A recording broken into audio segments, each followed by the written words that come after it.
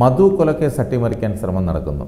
പ്രധാന സാക്ഷിയെ സ്വാധീനിക്കാനും കേസിൽ നിന്ന് പിന്മാറാനും സാക്ഷിക്ക് രണ്ട് ലക്ഷം രൂപ വാഗ്ദാനം ചെയ്തുവെന്നുമാണ് പുറത്തുവരുന്ന ആരോപണം. കേസ് കേസൊതുക്കാൻ രാഷ്ട്രീയ സമ്മർദ്ദങ്ങൾ ഉള്ളതായി സംശയിക്കുന്നുണ്ടെന്നും മുഖംമൂടിയിട്ട രണ്ടുപേർ വീട്ടിൽ വന്ന് ഭീഷണിപ്പെടുത്തിയെന്നും മധുവിന്റെ സഹോദരി സരസു പറഞ്ഞു.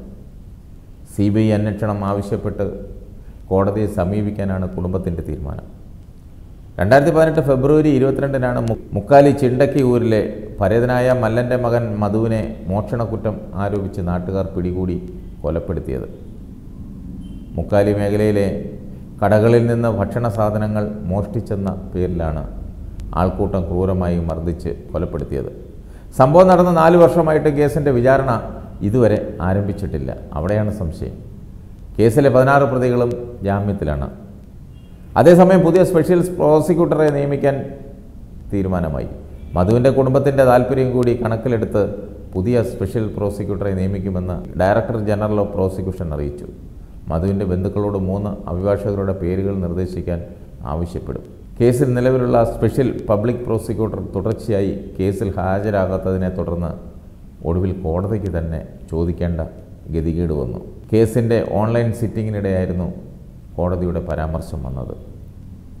ഇതിന് പിന്നാലെയാണ് ഡയറക്ടർ ജനറൽ ഓഫ് പ്രോസിക്യൂഷന്റെ ഭാഗത്തു നിന്നും ഇപ്പോൾ പ്രതികരണം ഉണ്ടായിരിക്കുന്നത്.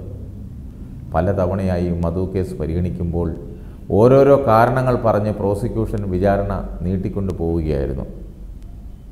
ഇത് പ്രതികളെ സഹായിക്കാനായിരുന്നുവെന്നാണ് കുടുംബം ആരോപിക്കുന്നത്. കുടുംബത്തിന്റെ ആരോപണം അതായത് മധുവിന്റെ കുടുംബം ആരോപിക്കുന്നതിന് എന്തെങ്കിലും തെറ്റുണ്ടോ? ആർക്കായാലും അങ്ങനെയല്ലേ തോന്നുന്നത്. അതിന്റെ പിന്നിൽ എന്തോ ഉണ്ട്.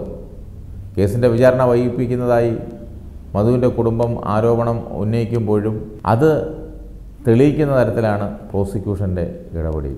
കേസിന്റെ പിന്നാലെ പോകാനും സമ്മർദ്ദം ചെലുത്താനും തങ്ങൾക്കാരുമില്ലെന്നും മകന് നീതി ലഭിക്കണമെന്നുമായിരുന്നു മധുവിന്റെ അമ്മ മല്ലി ഒരു വേള പറഞ്ഞത്.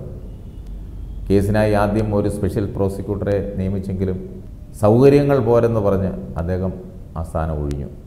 പിന്നീട് രണ്ടായിരത്തി പത്തൊമ്പത് ഓഗസ്റ്റിലാണ് വി ടി രഘുനാഥിനെ സ്പെഷ്യൽ പബ്ലിക് പ്രോസിക്യൂട്ടറായി നിയമിച്ചത്.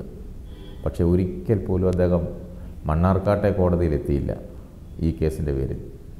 അദ്ദേഹത്തിന്റെ ജൂനിയർ അഭിഭാഷകർ മാത്രമാണ് കോടതിയിൽ വന്നിരുന്നത്.